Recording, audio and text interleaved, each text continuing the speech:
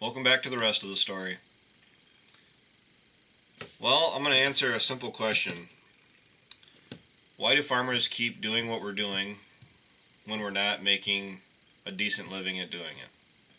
Well, a decent living as far as, I guess, being able to afford your lifestyle? Well, I'm sure I can't answer it.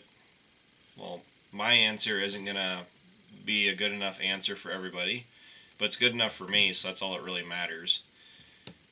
Simply put, the reason that I keep doing what we're doing, even though the profit isn't as good as it was a few years ago, um, I was born to do this. I was born to be a farmer. Uh, it takes a lot of determination, a lot of stubbornness to do this. If somebody had gotten into farming at the height of agriculture, back when we were seeing these high five, six, seven, eight dollar corn prices that thought they were going to get in and get rich quick, I can almost guarantee you that a lot of those guys are no longer in agriculture because prices started to plummet and they did it rather quickly when they did that they got out of it because they realized that the fun times aren't there anymore. When it comes to farming, anybody that has done it for a long period of time understands that agriculture in whatever area you're in, dairy, crops, cattle, um, well, whatever else is across the country that we don't quite do, mulch hay, cotton, wheat, but the good times last probably not even half as much as the, the down times.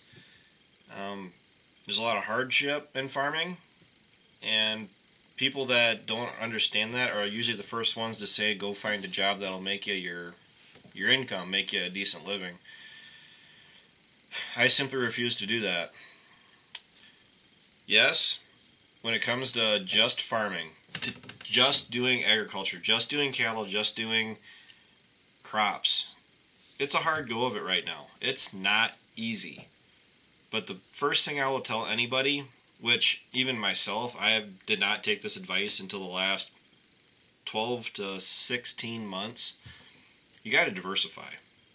You can't you can't solely grain farm for the next 50 years and not expect to have hard times, lean times, a lack of cash.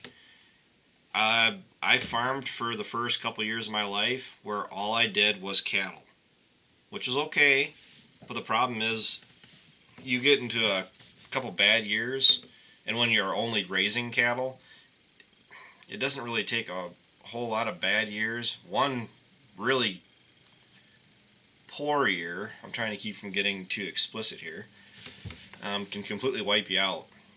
I had my knees knocked out from under me by raising just cattle. I had no other sources of income coming in. Uh, it's a really good eye opener.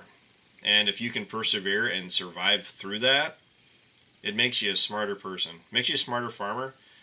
Um, I am diverse. I am. Let Let me count just off the top of my head.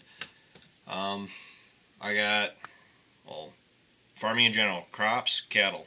We'll label those as two other than just crops and cattle, I have,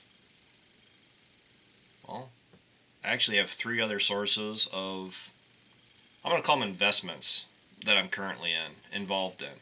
That if I have to, I can fall back on and at least survive, pay my monthly bills, pay for the fuel in my truck. Well, afford to take my wife out to dinner every once in a while when I have to, which I don't have to. Brittany, if you're watching, you know I, that's great. But um, being diverse, having something else to fall back on is really important in agriculture. I was told, somebody had recommended to me, that because prices are down in crops, that we should be focusing more on cattle. That I should um, dump all of our rented ground because it is hard to cash flow rented ground right now unless the landowner is, owner is really understanding. Um, the recommendation was to cut down on the amount of corn and beans we raise, plant more hay, dump all of our rented ground, which no, that's not even a realistic option for us, for me, for Ryan, and focus on raising cattle. Raise more hay and increase your cow herd. Well, what my grandpa has told me over the years is that guys that jumped in and out of all these different businesses weren't around for very long. An example guys that were heavy into raising cattle and crops went up, they dumped all their cattle, they went to crops. Well, about, about the time that they got situated in raising grain crops, dairy came up. And dairy, or not dairy, um, hogs came up. And they jumped from from crops to dairy to hogs to whatever else comes up to, to beef again. Um, guys that just didn't sit still, that were insistent that they were going to constantly chase the money. That's kind of hard to do in agriculture because dairy, especially well hogs too. I have no experience in hogs, so I'm not really going to speak too much about uh, about what it takes to get into them. But when it comes to dairy, you can't just even for us, we have a dairy barn that with a bit of work, I mean, it would take a lot of convincing to get me to milk in that barn again. I don't think you could get me milk in that barn again. It, it'd take a lot of convincing.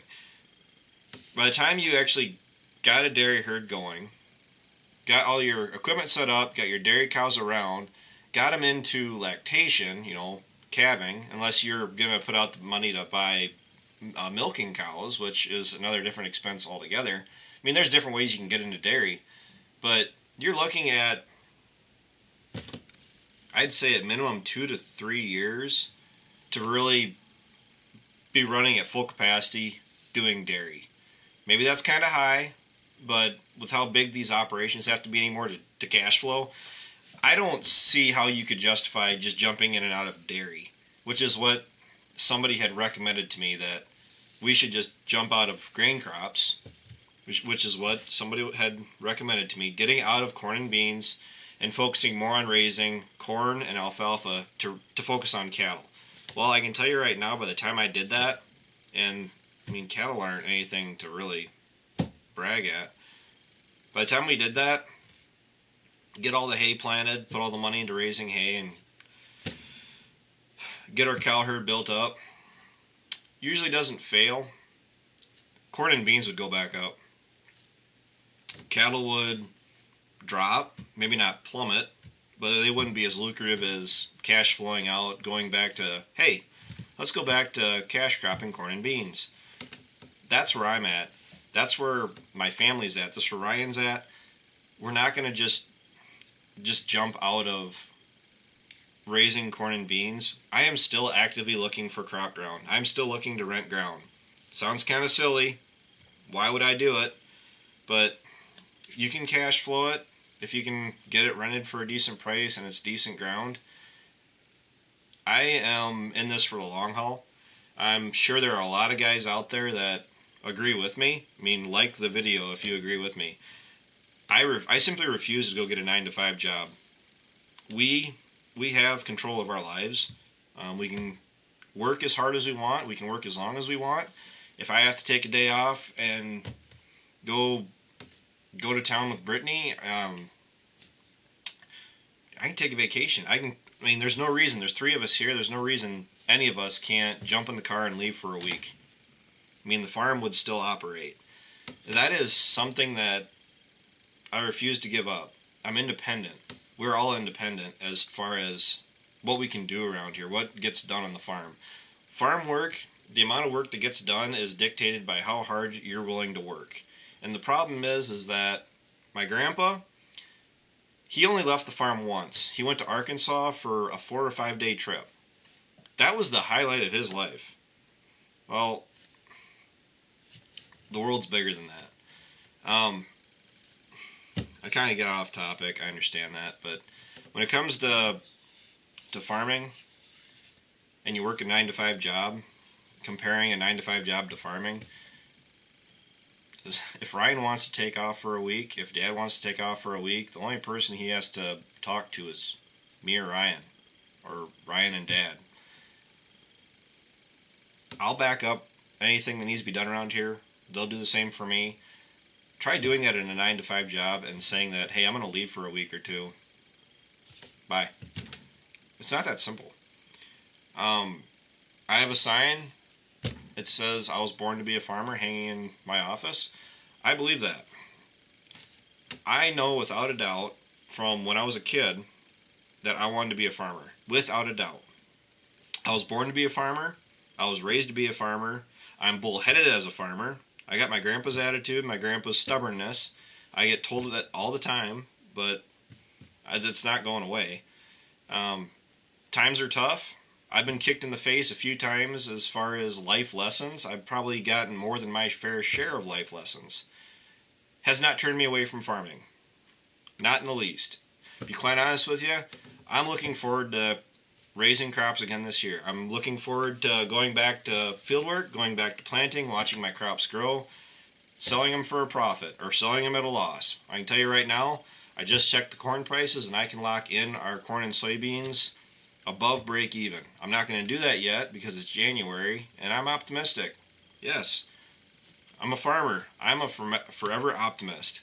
If the day comes that a farmer is stops being optimistic is the day that a farmer needs to cash out and go move to town.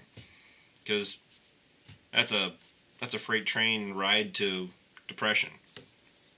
You got to be able to live with a lot of stress being a farmer. I live with stress every day. We all do. It comes with the territory. But you got to love it. I can't I can't really explain it said, said somebody wouldn't just tear me apart saying that it's just ridiculous as to why I would keep doing this to myself. Farmers, you got to be a special kind of stupid, according to the general public, to want to do this. And I tell you what, you can get me into a fist fight telling me that farming is a dead end career, that you're better off doing something else. You want a pretty violent response out of me. If not necessarily a physical response, but you want to get me ornery really quick. So start telling me that I need to start looking at getting off the farm and going getting a 9 to 5 job. It won't go over very well. But I know I you guys didn't really need a rant, but I do believe in farming. I believe in what I'm doing. I'm only 28 years old. I got a long career ahead of me. So I'm willing to fight, more than willing to fight to, to be a farmer, to do this, to keep doing this. Um, something you probably don't hear all that much on YouTube. Maybe you do. See, I don't watch a whole lot of other farmer channels. I kind of bounce around in and out between different channels. But I know, without a doubt, for us, I will do whatever it takes to keep our farming operation going. I believe my dad and brother are the same way. And um, my grandpa really, really expected these farms to keep going after he died. Um, that's a big reason why we got these farms. Grandpa knew the options. It was either they get sold off and sent out to the highest bidder, or he sold them to us and Ryan and I, his grandkids, and made damn certain that these farms are going to be around for a long time. I want to make damn certain that that happens. So that's enough for that. I thank anybody that stayed around for 14 minutes of ranting. Yes, I swore a little bit. YouTube's probably going to frown upon that, but I get a little uh, I get a little irritated when people try to tell me I should go do something else other than what I love. I love farming, if you guys can't tell.